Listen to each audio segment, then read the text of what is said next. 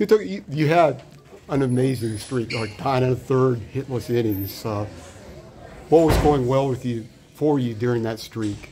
Um, I would just say being confident in my stuff. Um, Coach Gaines has been calling a really good game, and I think that this week's emphasis was just getting in, and we focused on that a lot during the bullpen, and then that pit just kind of like going right after him. Like it's freezing, they didn't really want to hit, and I kind of used that to my advantage.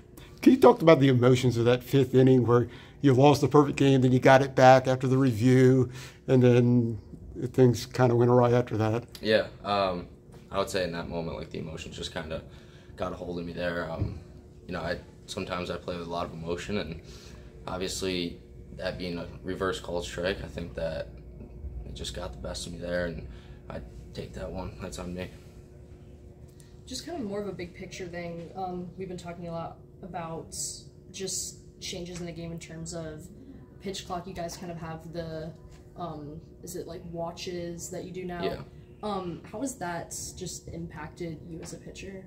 Um, we as a staff, like we really like it. Um, it allows us to kind of like roll through, kind of keeps us in our rhythm. Whereas like you get a runner on second before these, you you're looking at five, six different signs, and if you want to shake them off, it's a whole kind of got to step off. But I think it really speeds up the game, and I think it helps the pitchers a lot. It kind of makes the hitters a little bit uncomfortable, and you're kind of rolling too. You can kind of just quickly go from pitch to pitch.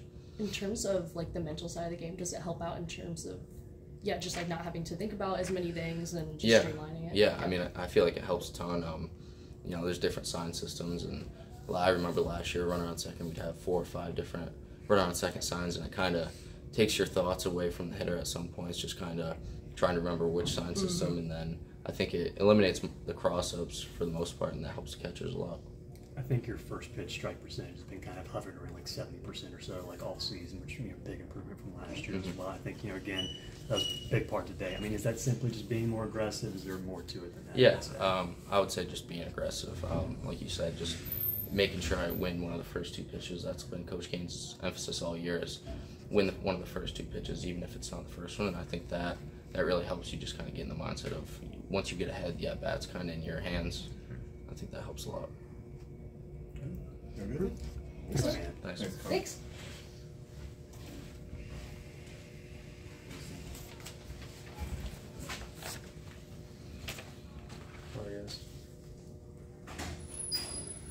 All right, so I can start. So yeah, um, just kind of going through some of the at bats you had. You had the really hard hit. I believe was it to third? Third, right? What was your reaction to that? I mean, very well hit, but obviously they were able to make a play on it.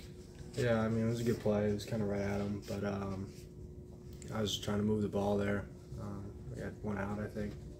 Yeah, one out, and uh, he had a pretty good stuff, but I was trying to move the ball and hit hard. I did, just unfortunate. Yeah, and then following that up with pretty soon after the double, just what was your reaction?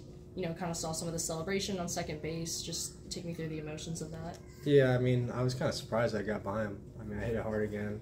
Um, but again, it's good job by the guys getting on in front of me um, to give me that opportunity again to make up for it. Yeah, and just again follow up on that, a little bit of like a celebration, kind of like doing this on the base. Could you explain that? Uh, well, I'm Italian, and uh, Nelson Berkwich and I we cook a lot together, like chicken parm and stuff like that. And he's like, "If you had a double today, you should do that." So it's like the Italian thing. So that's why I did it. Yeah. Yeah. Speaking specifically about your transition from first to third base, how has that kind of been over the last two games for you? Yeah, I mean, I've been moving around my whole time here, um, and it's it's difficult. But again, I've got to work at every position if I want to get on the field. Um, and I'm, I, I wouldn't say I'm new to there, but it's uh, it's definitely different. So I just got to keep working over there um, throughout the year. And you've been doing well at third, but just kind of some frustrating plays tonight. Uh, just, just baseball. Yeah, I mean, I, I hesitated on the second ball. Um, first ball kind of went in the dirt. I kind of rush myself, so it's something I just got to work on throughout the season. You guys, I mean, there's obviously a lot of pieces on this team where it could be a really elite defensive unit. I mean, is there maybe kind of finding like a middle balance between trying to make the really fantastic plays and just also just maybe just making the solid plays? I guess. Yeah, I mean, every position is different. Um, So yeah, like obviously you want to make the great plays, but you got to make the you know, the fundamental plays that you know, get easy out stuff like that. But um, yeah, tonight I just felt like I was a little rushed out there on defense, and uh, you know I just got to learn from it and continue to work at third. So. Yeah. How do you how do you think that defensively as a whole you guys are gonna learn? I mean, you tied your series high of four errors tonight. hmm Yeah, I mean it's just learning from it, like I said, but um, it's taking taking it serious in pregame when we're working on defense, and you know in practice when we work on it. And we know we're gonna put up runs. It's just a matter of making the plays, you know, pitching and defending to help us win. So We, talked after you know the Virginia series there, where you had that first home run, about just kind of Mhm. easing your way back. And it seems like you know, especially since then, I think it's ten for your last twenty-seven or something like that. Just how are you progressively just feeling more and more comfortable up there at the plate? yeah, I mean it's it's the biggest thing for me is just having like perspective and not really letting the moment get to me. Yeah. because I, like I said um, against that Virginia game, uh, like I sat out for a long time and now I'm in there, so I'm just gonna take advantage of all the opportunities I have. You know, it just feels good to be back out playing. You know, just be happy out there playing, have a good time.